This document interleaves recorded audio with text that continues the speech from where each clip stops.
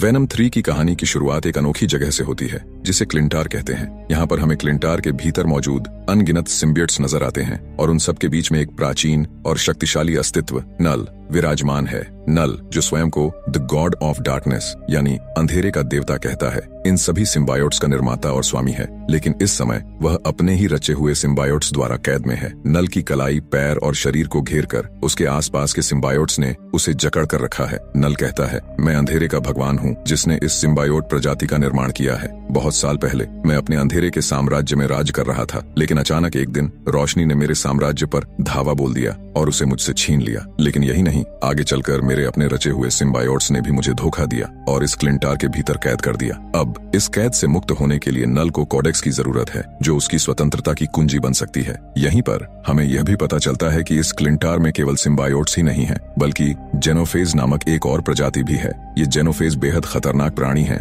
जो सिम्बायोट्स को मारकर खा जाते हैं। इस कहानी में मार्वल कॉमिक्स से थोड़ा हटकर एक अनूठा दृष्टिकोण भी देखा जा सकता है। कॉमिक्स में, ये जेनोफेज किसी अन्य ग्रह के होते हैं, लेकिन वेनम थ्री में दिखाया गया है कि इन्हें खुद नल ने ही सिम्बायोट्स के निर्माण से पहले रचा था। यही कारण है कि इन सभी जेनोफेज का रंग भी काला है, जो उनके नल से जुड़े होने का प्रतीक है। इतने सालों बाद, जबकि सिम्बायोट्स ने नल का साथ छोड़ दिया था और उसे कैद कर दिया था, ये जेनोफेज अभी भी नल के प्रति वफादार बने हुए हैं। नल अब उन्हें आदेश देता है कि वे पूरे ब्रह्मांड में फैल जाएँ और सभी ग्रहों पर जाकर कोडेक्स की खोज करें। जैसे ही जेनोफेज को कोडेक्स मिले, वे उसे नल के पास लेकर आए, ताकि नल एक बार फिर से स्वतंत्र होकर अपने अंधेरे के साम्राज्य को पुनः स्थापित कर सके। नल कहता है, जैसे ही मुझे कॉडेक्स मिलेगा, मैं इस कैद से आज़ाद हो जाऊँगा। उसके बाद मैं पूरे यूनिवर्स को नष्ट कर दूँगा और अपने अंधेरे के साम्राज्य को फिर से स्थापित करूँगा। यह कहते ही नल अपने चारों ओर कई पोर्टल्स खोल देता है और उन पोर्टल्स के ज़रिए सारे जेनोफेज को विभिन्न ग्रहों पर भेज देता है, ताकि वे कॉडेक्स की तलाश कर उसे नल के पास ला सकें। इसके बाद मूवी में हमें एडी ब्रॉक का दृश्य देखने को मिलता है। एडी एक बार में बैठा है। वही बार जहाँ वह स्पाइडरमैन नो वे होम के अंत में था, ये वही सीन है जहाँ एडी एमसीयू के हीरोज के बारे में जानने की कोशिश कर रहा है। बातचीत के दौरान बारटेंडर उसे बताता है कि इस यूनिवर्स में थैनोस नाम का एक विलेन आया था, जिसने पूरे यूनिवर्स की आधी आबादी को पाँच सालों के लिए गायब कर दिया था। इसके कुछ ही देर बाद, हम देखते हैं कि एडी ब्रॉक अपने वेनम सिम्बायोट के साथ अपने यूनिवर्स में लौटने लगता है। इसी समय पर डॉक्टर स्ट्रेंज का स्पेल कास्ट हो रहा होता है, जिससे एडी और वेनम अपने यूनिवर्स में वापस आ जाते हैं। लौटने के बाद भी एडी और वेनम यह महसूस करते हैं कि वे उसी जगह पर हैं, जहाँ वे एमसीयू यूनिवर्स में थे मेक्सिको के उसी बार में। यहाँ एकमात्र अंतर यह है कि उनके यूनिवर्स के बारटेंडर के बाल थोड़े लंबे हैं। जैसे ही एडी ब्रॉक बार में आता है, हमें एक दिलचस्प दृश्य देखने को मिलता है। वेनम एडी की बॉडी से अपने कई हाथ निकालता है और उसके लिए खुद एक ड्रिंक बनाकर उसे पेश करता है, लेकिन तभी बार टेंडर की नज़र एडी पर पड़ती है और वह यह देखकर हैरान रह जाता है कि एडी के शरीर से कई हाथ निकल रहे हैं। एडी इस पर ज़्यादा ध्यान नहीं देता और तभी उसकी नज़र बार में लगे टीवी स्क्रीन पर जाती है, जिसमें खबर चल रही होती है कि पैट्रिक मुलिगन नामक एक डिटेक्टिव की मौत हो गई है। पुलिस को संदेह है कि इस हत्या के पीछे एडी ब्रॉक का हाथ है और इसीलिए वे उसे ढूंढ रही है। एडी जैसे ही यह खबर सुनता है की पुलिस उसे पैट्रिक मुलिगन का हत्यारा मान रही है। उसे तुरंत एहसास होता है कि अब सैन फ्रांसिस्को वापस जाना उसके लिए खतरे से खाली नहीं है। अगर वह वहाँ जाता है तो पुलिस उसे गिरफ़्तार कर लेगी और वह खुद को निर्दोष साबित भी नहीं कर पाएगा। तभी वेनम एडी से पूछता है तो अब क्या इरादा है? इस पर एडी उसे बताता है कि वह अब न्यूयॉर्क जाने का फैसला कर चुका है, क्योंकि वहाँ उसका एक जज से संपर्क है, जिसके कई काले कारनामों के बारे में एडी को पता है। एडी सोचता है कि उस जज से मदद लेकर वह खुद को बेगुनाह साबित कर सकता है। जैसे ही एडी यह निर्णय लेता है, वह बार टेंडर को अपने पेय का भुगतान करता है और बाहर निकलने लगता है। इसी दौरान वेनम अपना एक हाथ बाहर निकालता है और काउंटर पर पैसे रख देता है। लेकिन, जैसा कि वह पैसे रखता है, काउंटर पर वेनम के शरीर का एक छोटा सा टुकड़ा भी वहीं रह जाता है। ये टुकड़ा बिल्कुल वैसा ही है, जैसा कि उसने एमसीयू यूनिवर्स में छोड़ा था। एडी ब्रॉक बार से बाहर निकलते ही, अपने रास्ते पर आगे बढ़ने लगता है। बाहर सड़क पर चलते हुए, वह अचानक कई कुत्तों के भौंकने की आवाज़ें सुनता है। इन आवाजों से आकर्षित होकर एडी उसी दिशा में जाता है जहाँ से आवाज़ें आ रही होती हैं। वहाँ पहुंचकर एडी और वेनम यह देखते हैं कि कुछ गुंडों ने कई मासूम कुत्तों को पिंजरों में कैद कर रखा है। ऐसा लगता है कि वे इन बेजुबान कुत्तों को बेचने का इरादा रखते हैं। यह देखकर एडी और वेनम तय करते हैं कि वे इन पिंजरों को खोलकर सभी कुत्तों को आज़ाद करेंगे। लेकिन जैसे ही वे ऐसा करने की सोचते हैं, वहाँ तीन गुंडे आ जाते हैं, वही लोग जिन्होंने इन कुत्तों को कैद किया था। एडी उनसे शांतिपूर्वक कहता है कि वे कुत्तों को छोड़ दें और यहाँ से बिना किसी झगड़े के चले जाएँ तो वह उन्हें कुछ नहीं करेगा। लेकिन वे गुंडे एडी की बात को अनसुना कर उस पर हमला कर देते हैं। और गोलियाँ चलाने लगते हैं। एडी के पास अब कोई विकल्प नहीं बचता, और इसी के साथ वेनम बाहर आता है। मूवी में पहली बार एडी वेनम का रूप धारण करता है। वेनम बनते ही वह तुरंत सभी पिंजरों को तोड़कर कुत्तों को आज़ाद करता है और फिर उन गुंडों से निपटने के लिए आगे बढ़ता है। बिना किसी दया के वेनम उन गुंडों का सिर खा जाता है, उनके बुरे कर्मों का अंत कर देता है। इसके बाद एडी वापस अपने इंसानी रूप में आ जाता है और उन सभी कुत्तों को सुरक्षित वहाँ से छोड़ देता है। कुत्तों को बचाने के बाद वह फिर से अपने रास्ते पर आगे बढ़ने लगता है। लेकिन तभी हम नोटिस करते हैं कि एक जेनोफेज जो नल द्वारा भेजा गया है, उसकी हरकतों को एक बिल्डिंग की छत से देख रहा है। हालाँकि एडी उस जेनोफेज की उपस्थिति से अनजान होता है और बिना रुके अपने सफ़र पर आगे बढ़ता रहता है। वहीं दूसरी ओर, हम देखते हैं कि कहीं दूर एक रहस्यमयी व्यक्ति बैठा है, जो लगातार एडी ब्रॉक पर नज़र रख रहा है। जिस सड़क पर एडी चल रहा होता है, उस पर लगे सीसीटीवी कैमरे उसकी हर गतिविधि को कैप्चर कर रहे हैं। इन्हीं फुटेज के ज़रिए यह अनजान व्यक्ति एडी की हरकतों पर नज़र बनाए हुए है। इस दृश्य में उस व्यक्ति का चेहरा स्पष्ट नहीं दिखाया जाता, लेकिन वह धीरे से कहता है, एडी ब्रॉक बाहर आ चुका है, अब उसे पकड़ने का समय आ गया है। इसके बाद, वह जनरल रेक्स को फ़ोन करता है और उसे एडी को गिरफ़्तार करने का आदेश देता है। इसी बातचीत से यह साफ़ हो जाता है कि यह व्यक्ति एडी और वेनम दोनों के बारे में पूरी जानकारी रखता है। इसके तुरंत बाद, हम जनरल रेक्स को देखते हैं। जैसे ही उसे सूचना मिलती है, वह अपनी टीम के साथ उस बार में पहुँचता है, जहाँ हाल ही में एडी और वेनम थे। वहाँ पहुंचकर वह बारटेंडर से जानकारी लेता है। बारटेंडर उसे बताता है कि वह शख्स, जो अभी अभी बार में था, उसके शरीर से कई हाथ निकल रहे थे और वह उन हाथों को काफ़ी दूर तक बढ़ाकर किसी भी चीज़ को पकड़ सकता था। ये सुनते ही जनरल रेक्स अपने साथियों से कहता है कि वे बारटेंडर को बेहोश कर गाड़ी में ले चले, ताकि उससे आगे पूछताछ की जा सके। उसकी टीम बारटेंडर को बेहोश करके उसे अपनी गाड़ी में डाल देती है। साथ ही जनरल रेक्स वेनम के शरीर का वह छोटा सा हिस्सा भी उठा लेता है, जो काउंटर पर रह गया था। इस हिस्से को देखकर उसे वेनम की असली ताकत का अंदाज़ा हो जाता है, और वह इसे एक महत्वपूर्ण सबूत के रूप में रखता है। इसके बाद सीन बदलता है, और हम एक महिला से मिलते हैं, जिसका नाम डॉ पेन है। डॉक्टर पेन एरिया इक्यावन में रिसर्च का काम करती है और वह एक अत्यंत कुशल वैज्ञानिक के रूप में पहचानी जाती है। ऐसा लगता है कि वह भी इस रहस्यमयी मिशन का हिस्सा है और एडी और वेनम से जुड़ी सच्चाई को उजागर करने में अहम भूमिका निभाने वाली है। दोस्तों, जो लोग नहीं जानते, उन्हें बता दूँ कि एरिया 51 वास्तव में यूएसए में एक रहस्यमयी जगह है। कहा जाता है कि यहाँ एलियंस और उनसे जुड़ी कई चीज़ों पर रिसर्च की जाती है। इसी तरह का कुछ हमें इस मूवी में भी दिखाया गया है। हम देखते हैं कि डॉ पेन एरिया इक्यावन में रिसर्च के काम के लिए पहुँचती हैं और वहाँ पता चलता है कि पृथ्वी पर मौजूद सभी सिम्बायोट्स को यहीं कैद करके रखा गया है। कुछ समय बाद जनरल रेक्स डॉ पेन से मिलने आता है और हम जानते हैं कि वह भी एरिया इक्यावन के लिए काम करता है। जनरल रेक्स वह छोटा टुकड़ा भी लाता है जो उसने बार से वेनम की बॉडी से उठा लिया था और वह इसे डॉ पेन को रिसर्च के लिए दे देता है। इसके बाद डॉक्टर पेन जनरल रेक्स को लेकर एक विशेष रूम में जाती है, जहाँ वे एक व्यक्ति को देखते हैं, पैट्रिक मलगन, जो जीवित है लेकिन एरिया पचपन की कैद में है। पेन और जनरल आपस में बात करते हुए बताते हैं कि जब उन्होंने उसे पाया था, तब वह मृत था पर उन्होंने उसे एक सिम्बायोट के साथ बॉन्ड करवा दिया, जिससे वह पुनः जीवित हो गया।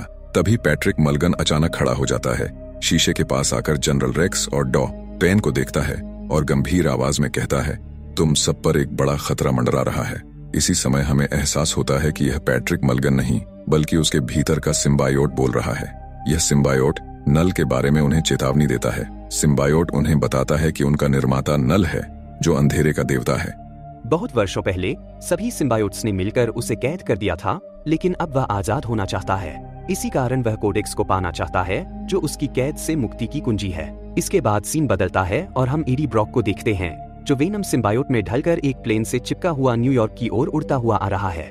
लेकिन अगले ही पल, एक जेनोफेज उनकी मौजूदगी को ट्रेस करता हुआ उसी प्लेन पर आ पहुँचता है। इसके बाद प्लेन पर ही वेनम और जेनोफेज के बीच ज़बरदस्त फाइट होती है। इस दौरान, जेनोफेज वेनम की बॉडी में उस कोडेक्स को देख पाता है, जो वेनम के गले में स्थित है। हालाँकि, वेनम किसी तरह जेनोफेज को चकमा देकर प्लेन से कूद जाता है और पैराशूट खोलकर एडी को सुरक्षित नीचे उतारता है। नीचे पहुंचकर एडी ब्रॉक वेनम से पूछता है, आखिर वो क्रिएचर कौन था और हम पर हमला क्यों कर रहा था? जवाब में वेनम एडी को बताता है कि वह एक जेनोफेज था, जो उनसे कोडेक्स लेने आया था।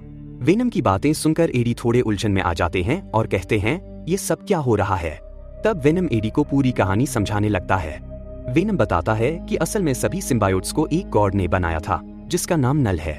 लेकिन नल ने सिम्बायोट्स के साथ साथ जेनोफेज को भी क्रिएट किया था, यानी वही क्रिएचर जो उन पर हमला करने आया था। कई साल पहले, सारे सिम्बायोट्स ने मिलकर नल को एक कैदी की तरह क्लिंट नाम की जेल में कैद कर दिया था। अब नल खुद को इस कैद से आज़ाद करना चाहता है, जिसके लिए उसे कोडेक्स चाहिए। कोडेक्स के बारे में बताते हुए वेनम ईडी से कहता है कि सिम्बायोट्स के पास अपने होस्ट को फिर से जीवित करने की शक्ति होती है। यदि किसी सिम्बायोट का होस्ट मर जाता है तो सिम्बायोट उसे फिर से ज़िंदा कर सकता है।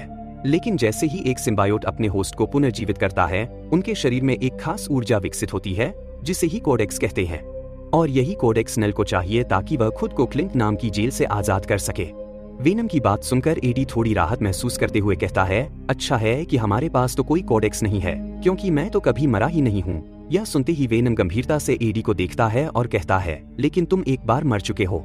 इसके बाद, एक फ्लैशबैक में हमें वेनम एक मूवी का एक सीन दिखाया जाता है, जिसमें एडी ब्रॉक की मौत हो जाती है। उसी वक्त, वेनम सिम्बायोट उसे फिर से जीवित करता है। इसी वजह से अब एडी और वेनम की बॉडी में कोडेक्स मौजूद है, जो नल के लिए बेहद महत्वपूर्ण है। यहाँ पर वेनम एडी को समझाता है कि जेनोफेज तभी कोडेक्स को देख सकता है जब वह एडी ब्रॉक को पूरी तरह से वेनम में बदल देता है। जैसे ही एडी पूरी तरह वेनम में तब्दील होता है, उसके गले में स्थित कोडेक्स तेज़ी से चमकने लगता है, जिससे जेनोफेज को कोडेक्स का सिग्नल मिलने लगता है। इस कारण से जेनोफेज, चाहे जितनी भी दूर हो, कोडेक्स को ट्रैक करके वहाँ पहुँच जाता है। वेनम इसीलिए एडी से कहता है कि जब तक जेनोफेज का खतरा बना हुआ है, वह एडी को पूरी तरह से ट्रांसफॉर्म नहीं करेगा। अगर ऐसा हुआ तो जेनोफेज उन्हें ढूंढ निकालेगी और एडी और वेनम दोनों को मारकर कोडेक्स लेकर नल को सौंप देगी। ऐसा होने पर एडी और वेनम की मौत तो तय है, और साथ ही नल भी आज़ाद हो जाएगा। इसके बाद एडी और वेनम आगे बढ़ते हैं और थोड़ी दूर चलने पर उन्हें एक घोड़ा दिखाई देता है। दोनों यह निर्णय लेते हैं कि वेनम घोड़े के साथ बांड करेगा ताकि एडी को जल्द से जल्द वहाँ से बाहर निकाला जा सके। वेनम घोड़े के साथ बांड करता है और एक समय में एडी को बचाने की हर संभव कोशिश करता है। वह एक मेंढक और मछली के साथ भी बांड बनाता है, लेकिन जब उसके पास कोई और विकल्प नहीं बचता, तब वह आखिरकार एडी के साथ पूरी तरह से बांड हो जाता है। लेकिन इसी बीच जेनोफेज वेनम को ट्रैक कर लेती है और तेज़ी से उनके पास पहुँच जाती है। जेनोफेज के वहाँ आते ही जनरल रेक्स की टीम उसे देखकर घबरा जाती है और उस पर गोलियाँ बरसाने लगती है। इस मौके का फ़ायदा उठाते हुए वेनम तेज़ी से एडी के शरीर में घुसकर उसे वहाँ से बाहर निकाल लेता है, जिससे एडी और वेनम, जनरल रेक्स और जेनोफेज दोनों से बच निकलते हैं। इसके बाद एडी जंगल में आगे बढ़ता है, और जैसे ही वह थोड़ी और दूरी तय करता है, उसकी मुलाकात एक आदमी से होती है, जिसका नाम मार्टिन है। मार्टिन अपनी फैमिली के साथ वहाँ मौजूद है, जिसमें उसकी पत्नी और दो बच्चे भी शामिल हैं। यहाँ मार्टिन एडी का स्वागत करते हुए उसे अपने साथ भोजन कराता है। बातचीत के दौरान, मार्टिन एडी को बताता है कि वह वास्तव में एरिया इक्यावन के पास जा रहा है, क्योंकि उसने सुना है कि वहाँ एलियंस मौजूद हैं, और उसका हमेशा से सपना रहा है कि वह एलियंस को देख सके। इसलिए वह अपनी फैमिली के साथ एलियंस देखने के लिए वहाँ जा रहा है। मार्टिन की मासूम और उत्साही बातें सुनकर एडी समझ जाता है कि मार्टिन एक सीधा सादा और निकदिल इंसान है। इस पर एडी उससे मदद माँगता है और कहता है कि क्या वह उसे न्यूयॉर्क सिटी तक छोड़ सकता है। मार्टिन खुशी खुशी मान जाता है और एडी को अपनी गाड़ी में न्यूयॉर्क तक पहुँचा देता है। इसके बाद मार्टिन अपनी फैमिली को लेकर एरिया इक्यावन के लिए निकल जाता है। न्यूयॉर्क पहुँचने के बाद एडी अपने कपड़े बदलता है और छुपने के लिए एक कैसिनो में जाता है। उसी कैसिनो में उसकी मुलाकात मिसेज चिन से होती है, जो उसे देखकर बेहद खुश हो जाती है और उसे अपने घर ले जाती है। मिसेस चिन इतनी उत्साहित होती हैं कि खुशी में नाचने लगती हैं और एडी को भी डांस करने के लिए कहती है। एडी मना कर देता है, लेकिन वेनम जोश में आकर एडी को पूरी तरह वेनम में ट्रांसफॉर्म कर देता है और खुद नाचने लगता है। तभी जेनोफेस, जो उन्हें ट्रैक कर रही थी, वहाँ पहुँच जाती है। जेनोफेस को देखते ही वेनम फॉरन एडी की बॉडी में वापस छुप जाता है। जिससे जेनोफेज उसे ट्रैक नहीं कर पाती और वहाँ से चली जाती है। जेनोफेज के जाने के कुछ ही समय बाद जनरल रेक्स और उसकी टीम भी वहाँ पहुँच जाती है, क्योंकि उन्होंने भी एडी ब्रॉक का पता लगा लिया था।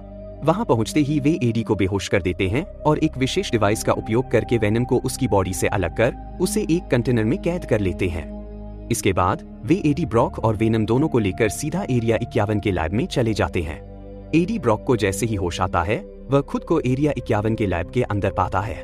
उसके जागते ही जनरल रेक्स उसके पास आता है और बिना वक्त गवाए एडी पर गोली चला देता है, जिससे उसकी जान जाने का खतरा हो जाता है।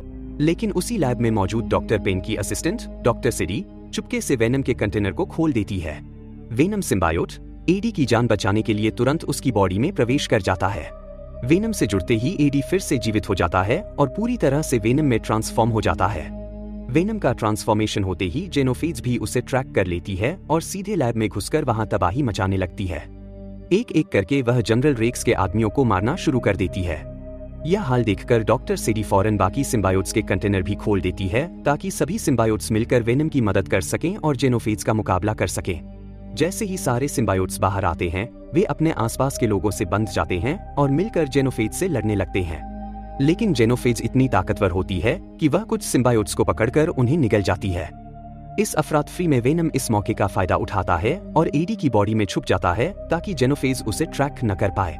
फिर अगले ही पल एडी ब्रॉक लैब से बाहर निकलकर एक खुले मैदान में पहुँच जाता है। बाहर आकर वह देखता है कि मार्टिन और उसकी फैमिली भी वहाँ पहुँची हुई है। जेनोफेज की वजह से उन्हें खतरा हो सकता है, इसलिए एडी तेज़ी से उनके पास जाकर उन्हें सुरक्षित वहाँ से बाहर निकाल देता है। दूसरी ओर, बाकी सिम्बायोट्स मिलकर जेनोफेज को मात देने लगते हैं। लेकिन तभी जेनोफेज ज़ोर से चिल्लाकर अपने साथियों को सिग्नल भेजती है, जिससे कई पोर्टल्स खुल जाते हैं और चार पाँच और जेनोफेज वहाँ आ जाते हैं। ये देख ईडी ब्रॉक फिर से वेनम में बदल जाता है और सारे सिम्बायोट्स के साथ मिलकर सभी जेनोफेज से मुकाबला करने लगता है। लेकिन जेनोफेज की संख्या अधिक होने के कारण सिम्बायोट्स कमज़ोर पड़ने लगते हैं और एडी ब्रॉक और वेनम भी गंभीर रूप से घायल हो जाते हैं। इस कठिन परिस्थिति में वेनम, एडी को कुछ दूर ले जाता है और उससे कहता है कि अब सभी जेनोफेज को हराने का केवल एक ही तरीका है। उन्हें एक साथ मिलकर पूरी शक्ति से इन जेनोफेज का सामना करना होगा। इसके बाद हम देखते हैं कि एडी ब्रॉक एक बार फिर से वेनम में बदल जाता है और सभी जेनोफेज की ओर बढ़ने लगता है। यह देखकर जेनोफेज भी उसे घेर लेते हैं। लेकिन वेनम अपनी शक्ति का प्रदर्शन करते हुए कई टेंटकल्स बाहर निकालता है और सभी जेनोफेज को अपने में समेटने की कोशिश करता है। जैसे ही वेनम उन्हें अपने अंदर मिलाता है, वह पास के एक स्थान पर जाता है, जहाँ एक बेहद शक्तिशाली एसिड रखा होता है। यह एसिड इतना खतरनाक है कि यह किसी भी चीज़ को नष्ट कर सकता है। वेनम का यह प्लान है कि वह इन सभी जेनोफेज को इसी एसिड से खत्म कर दे। इसलिए, जैसे ही वह उन सबको लेकर एसिड के पास पहुँचता है, ठीक पहले, वह एडी ब्रॉक को अपनी बॉडी से निकालकर दूर फेंक देता है, ताकि एडी की जान बच सके। फिर, वेनम जेनोफेज को एसिड के नीचे ले जाकर डाल देता है। उस खतरनाक एसिड के प्रभाव से जेनोफेज धीरे धीरे समाप्त होने लगते हैं, लेकिन इसके साथ ही वेनम भी मारा जाता है। इस तरह, अपने अंत के साथ, वेनम सभी जेनोफेज को भी खत्म कर देता है। लेकिन इस लड़ाई के परिणाम स्वरूप एडी ब्रॉक भी गंभीर चोटों के कारण बेहोश हो जाता है। इस बीच, हम देखते हैं कि डॉक्टर पेन एक कंटेनर से एक सिम्बायोट निकालती है, और वह सिम्बायोट और कोई नहीं, बल्कि स्कन सिम्बायोट होती है। डॉक्टर पेन स्कन सिम्बायोट से बंध जाती है, और अपने असिस्टेंट के साथ वहाँ से निकल जाती है। जब एडी ब्रॉक की आँखें खुलती हैं तो वह पाता है कि वह एक हॉस्पिटल में है। वहाँ, यूएस मिलिट्री का एक सीनियर ऑफिसर उससे मिलने आता है। वह एडी को धन्यवाद देते हुए बताता है कि एडी ने जेनोफेज नामक उन सभी विदेशी जीवों से मानवता की रक्षा की है। एडी और उसके वेनम सिम्बायोट की वजह से एक बहुत बड़ी अनहोनी से बचा गया है। इसी कारण, वह ऑफिसर एडी को सभी आरोपों से मुक्त कर देता है और कहता है कि अब एडी ब्रॉक अपनी ज़िंदगी को आराम से जी सकता है। अब अगली दृश्य में हम देखते हैं कि एडी ब्रॉक अपनी ज़िंदगी को सामान्य तरीके से जीने लगता है। लेकिन एडी को अपने वेनम सिम्बायोट की बहुत याद आती है और वह अक्सर उसकी यादों में खो जाता है। इसके साथ ही यह फ़िल्म खत्म हो जाती है। फ़िल्म के अंत के बाद हमें दो पोस्ट क्रेडिट दृश्य दिखाई देते हैं। पहले दृश्य में हम नल को देखते हैं और इस बार हमें उसका पूरा चेहरा दिखाया जाता है। नल कहता है, अब मैं पूरे यूनिवर्स को नष्ट कर दूँगा। इस सीन से हमें यह पता चलता है कि गॉड ऑफ़ सिमर्स नल को आगे भी फ़िल्मों में शामिल किया जाएगा। दूसरे सीन में वही बारटेंडर दिखाई देता है, जिसे जनरल रेक्स ने पकड़कर एरिया इक्यावन में लाया था।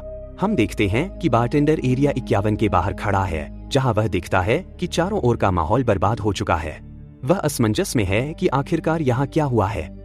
इसी बीच, हमें थोड़ी दूरी पर वेनम सिम्बायोट के शरीर का वही टुकड़ा भी दिखाई देता है, जिसे जनरल रेक्स ने बार से पकड़ा था। लेकिन इस सीन का भी अंत यही होता है। यह दृश्य हमें यह बताता है कि स्पाइडरमैन यूनिवर्स में वेनम अभी भी जीवित है, क्योंकि वेनम के शरीर का जो छोटा सा टुकड़ा बचा है, वह भविष्य में यही का वेनम बनेगा। लेकिन असल में आगे क्या होगा, यह तो समय ही बताएगा। तो दोस्तों, यह थी video Venom, the last dance film की कहानी। मुझे बताएँ, आपको यह वीडियो कैसी लगी? और अगर आपको यह पसंद आई हो तो इसे लाइक करें। और चैनल को भी प्लीज़ सब्सक्राइब करके मेरा हौसला बढ़ाए ताकि मैं इसी तरह की वीडियोस आपके लिए हमेशा लाता रहूँ। Thank you friends for watching this videos